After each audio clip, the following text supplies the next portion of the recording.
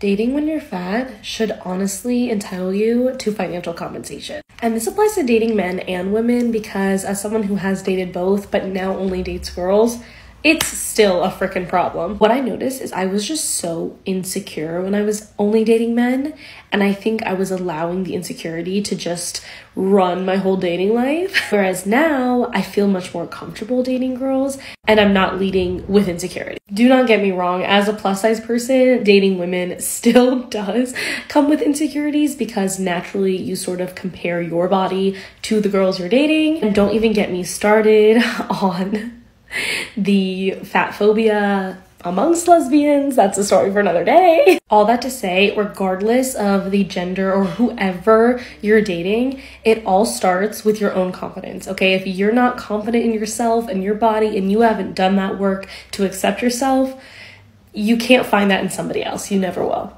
You're gonna need a bigger boat.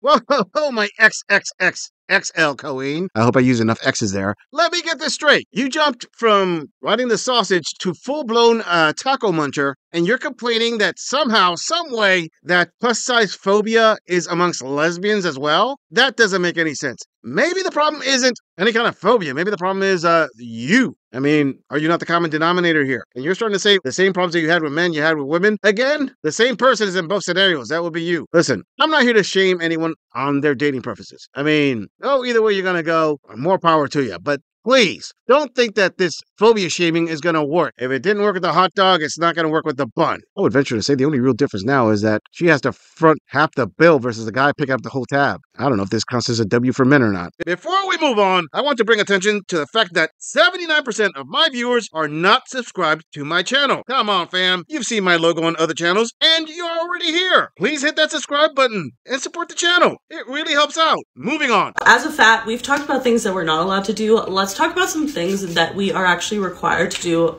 as a fat by skinny people. It's like just kind of an expectation. We keep backing off of the fact that we're not allowed to think that anyone has a crush on us because we're fat and uh, therefore obviously ugly, disgusting, no one wants to have a crush on us. We also have to have a crush on everyone else. And let me explain. Does anyone else feel like a lot of skinny people will flirt through you? Like anytime I talked to a man, like in high school, people be oh, you have a him. Like, that's so cute. I literally don't. Like, I was just speaking to him. They're like, don't even deny it, girl. Like, it's okay. I see you. And I'm like, no, actually, I see you.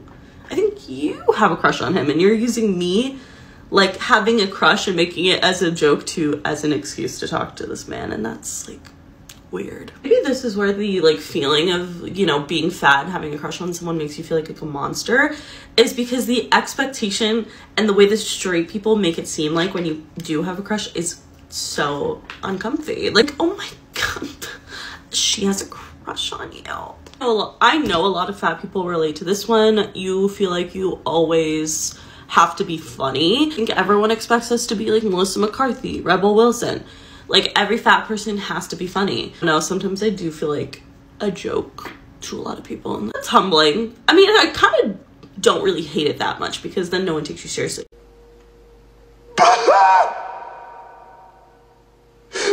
Whoa, whoa, wait up a second, Queen. She said that as a big girl, she has discussed things that she is not allowed to discuss. Really, I didn't know there were rules on that. I didn't know that having extra folds meant that there are subjects you can't touch. Why? Because those subjects are sugar free or something? I don't think that logic applies. Also, you talking about how you being a big girl and everybody else assumes that when you talk to a guy, it means you have a crush on him. This is a problem you're complaining about. You know what guys understand when they hear this? Big whoop. So what? Is this as bad as it gets? Seriously? It just shows how pampered women are. Men are actually ridiculed, especially overweight guys. Not just by other men, by women too. It's made very clear to overweight men to slim down, they need to get in shape, they need to do their part in order to attract women. Now, there are exceptions to the rules out there. There are probably plus size men out there who do attract women on the regular. But that would be the exception, not the norm most plus size guys don't get approached by most plus size women. It really sounds like this is a non issue in the grand scheme of things. And to be honest with you, Queen, making videos about this isn't going to make this issue go away, but showing that treadmill some love every couple days definitely can make all these issues melt away.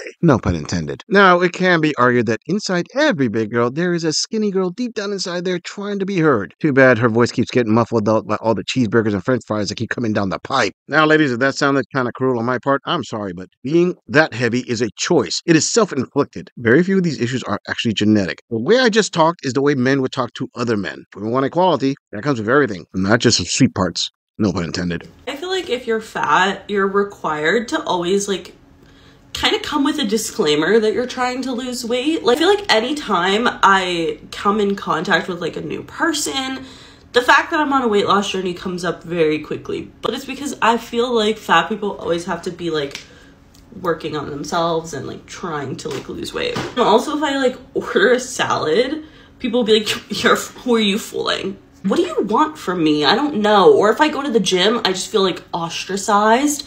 But you're also telling me to lose weight, but then you get mad at me for doing the things that help me lose weight. So like what is that? What literally are you okay? Apparently if you're fat and in a relationship with someone who's skinny, you actually have to be a millionaire. I'll see couples on TikTok of like a skinny man who's attractive dating a fat girl, which all of the comments will be like, she must be fucking loaded. Like she has the most money in the world. Like if you're fat, uh, you have to date only ugly people or other fat people in society's standards as ugly. You show people like a picture of your boyfriend or girlfriend and they're like, oh, they're actually cute.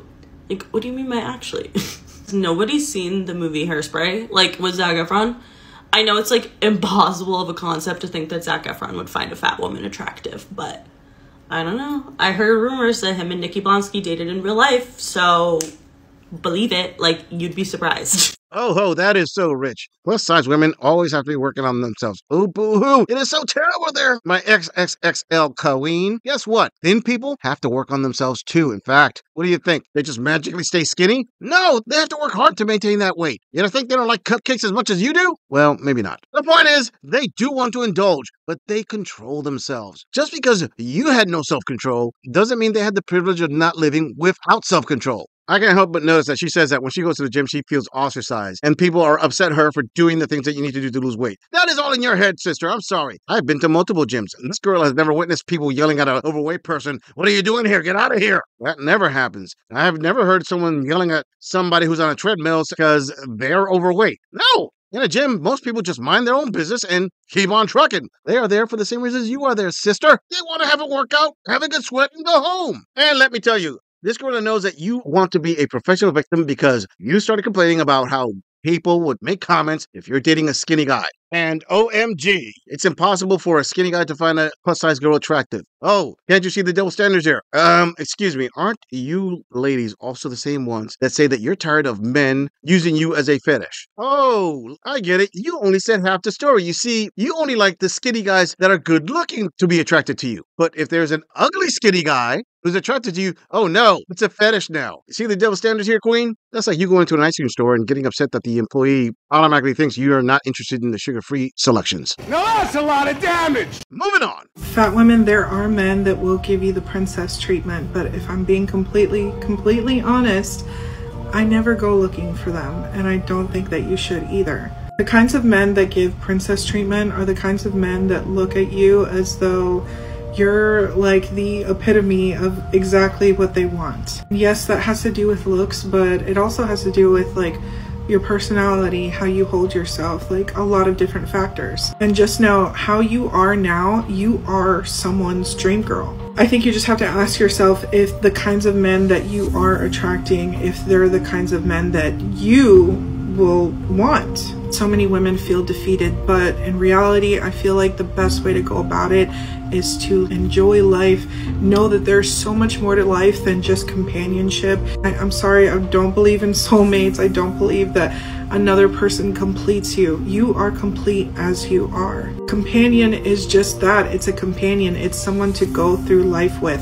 And I'm not saying that that's not a beautiful thing. It is absolutely a beautiful thing. But I really feel like if you're enjoying life, then people will look to you as someone that they can enjoy life with. I used to spend hours communicating with guys on like dating apps and here and there, and I realized how much energy I was putting into it and how much energy I was taking away from all these beautiful, wonderful things that I could be doing in my in my real life.